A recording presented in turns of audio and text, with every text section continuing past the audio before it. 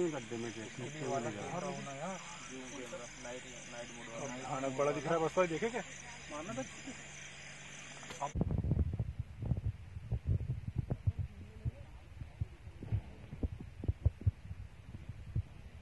अब देखो यार। हर चीज़ को छोड़ो आँखें पसंद आई नहीं ये गड्ढे में थे नीचे वाला वाला कैमरा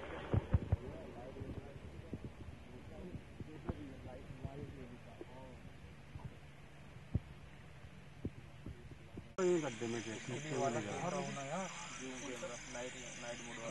बड़ा दिख रहा है बस भाई देखे क्या मारना